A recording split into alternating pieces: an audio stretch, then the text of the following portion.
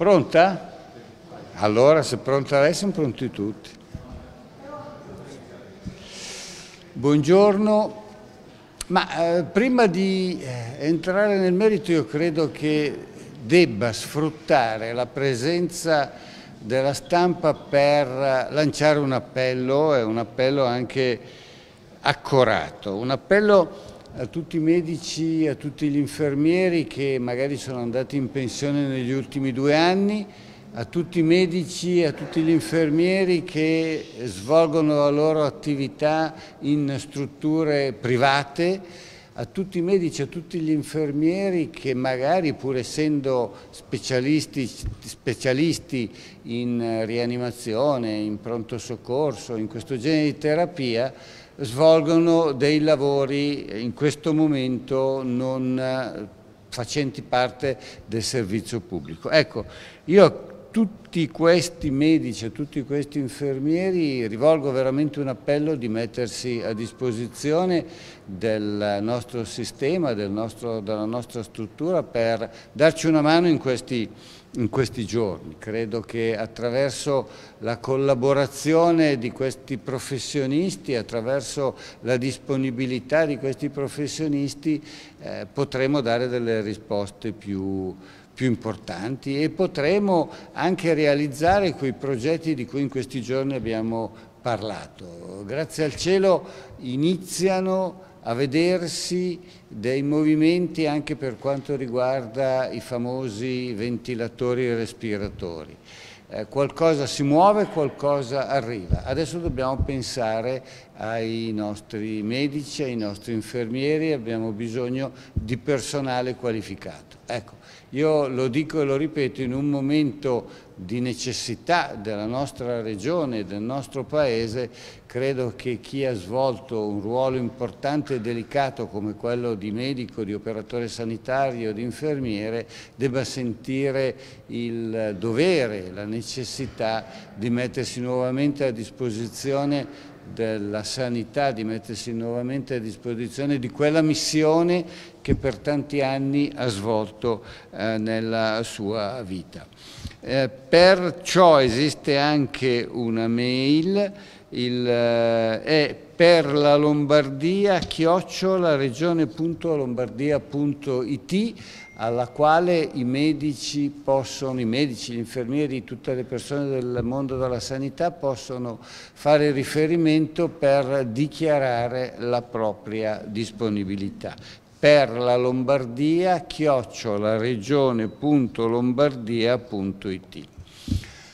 Poi volevo dirvi, l'ho già detto, che tanti paesi si stanno muovendo, ho ricevuto anche così, eh, telefonate di nostri vicini, di altri partner europei che stanno dimostrando interesse ed attenzione particolare nei confronti della situazione della Regione Lombardia e di questo mi fa e questo mi fa molto, molto piacere, sono particolarmente eh, contento.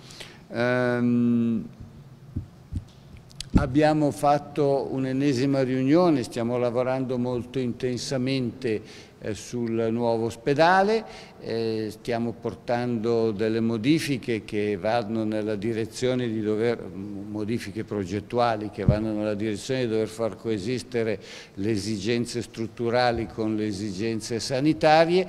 Mi sembra di poter dire che mh, il lavoro Mm, stia, stia, andando avanti bene e che quindi eh, la speranza eh, di riuscire ad arrivare a breve alla realizzazione anche di questo grande ospedale eh, sia sempre più concreta. Ciò non toglie, lo voglio evidenziare perché purtroppo eh, io non so, ma in, questo momento c'è sempre qualcuno che vede il negativo anche nel positivo. Ciò non toglie e eh, voglio ribadirlo in maniera molto forte che noi stiamo continuando a rinforzare anche le rianimazioni degli singoli ospedali, perché subito c'è alzato qualcuno dicendo i, i, i respiratori per il nuovo ospedale verranno sottratti agli ospedali eh, delle altre città. No, non è assolutamente vero, sono due progetti autonomi e ciascuno va per conto proprio. I respiratori per il nuovo ospedale non verranno sottratti ai respiratori che sono già previsti per i vecchi ospedali e che stanno arrivando dalla protezione civile, appena arriveranno verranno distribuiti sul territorio. Oggi ne dovevano arrivare, mi sembra, non mi ricordo più se 24 o 40, per ora non sono arrivati, appena dovessero arrivare essere messi a disposizione di Regione Lombardia, Regione Lombardia provvederà a distribuirli sul territorio ai vari ospedali di Mantova, di Cremona, di Bergamo, adesso non so dirvi quali, ma quelli che nostri, la nostra cabina di regia ha ritenuto essere gli ospedali che ne avevano più necessità. Grazie ancora oggi, eh, faccio un ringraziamento sempre ogni giorno ai vari eh, persone che si sono eh, distinte con, per la loro generosità, in questo caso grazie alla ditta Bayer che ha messo a disposizione un milione per la lotta alla, al Covid-19, fondo per ospedale, eh, verrà aperto, eh, ecco forse c'è, eh, gli estremi, un, ecco un Ah, ecco, è stato, sì, eh, non, no, pensavo ci fosse l'indirizzo ma non c'è. È stato, è stato attivato un fondo specifico per le donazioni eh, di chi vuole eh, inviare la, la, propria, eh, la, propria, generosità a favore del nuovo ospedale. Pensavo ci fossero già gli estremi, non ci sono. Comunque se voi andate sul sito della Fondazione Fiera trovate anche il, eh, i dati di questo, di questo, ulteriore fondo. Grazie, di questo ulteriore, sì, di questo ulteriore. Grazie. Eh, Presidente, io volevo chiedere questo, ma due domande, scusi. Eh, ieri lei ha detto che a proposito del nostro portello, uh, contrariamente a quanto ha messo nei scorsi, eh, Arcuri ha garantito massima collaborazione no, per conto del governo. Quindi una domanda volevo chiedere esattamente in che forma eh, daranno questa collaborazione, se c'è qualche impegno che Arcuri ha preso. Seconda domanda, ieri avete fatto vedere come... Scusi? Seconda domanda, eh, ieri avete fatto vedere come molti lombardi stanno ancora troppo poco a casa, insomma. Se questa situazione dovesse eh, continuare, voi mm, chiederete, chiederete il numero di attuali?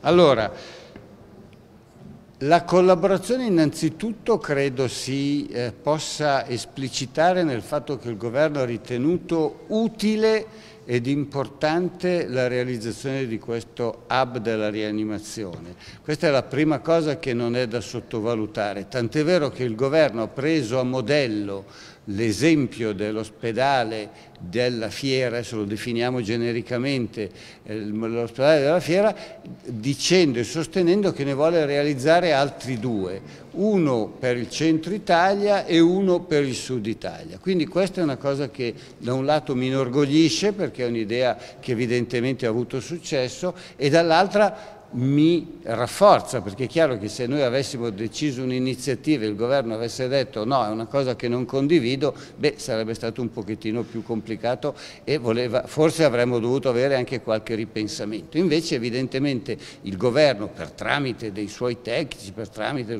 del suo comitato scientifico, ha convalidato la bontà di questa operazione. Quindi questo credo che sia il più importante sostegno. Dopodiché il dottor Arcuri ha detto che oggi come oggi non è in grado di dirci di che entità sarà l'aiuto, ma ci dirà presto, ma ci ha assicurato che un aiuto ci sarà in termini soprattutto di materiali. Su questo non ci sono dubbi. non può dire, lo capisco, le richieste sono tante, arrivano da tutta Italia, quindi nel momento in cui ci dirà quale sarà l'aiuto. Per quanto riguarda il discorso del troppo poco a casa, è quello che dicevo ieri, io tutti i giorni lo rifaccio questo appello, Amici, eh, io lo sto dicendo in modo educato, fra un po' bisognerà cambiare il tono perché se non la capite con le buone bisogna dire, bisogna essere un pochettino più aggressivi anche nel farvela capire. Non dovete uscire, dovete stare a casa. Purtroppo i numeri del contagio non si riducono, continuano ad essere alti. Fra poco non saremo più nelle condizioni di dare una risposta a chi si ammala. Amici, eh, nessuno si sta chiedendo un sacrificio così, gli stiamo chiedendo un sacrificio per salvare delle vite umane. E forse voi non l'avete ancora capito, ma ogni uscita di casa è un rischio per voi ed è un rischio per gli altri. Per adesso ve lo chiediamo, se si dovesse andare avanti chiederemo al governo di emanare dei provvedimenti ancora più rigorosi. Grazie. Grazie.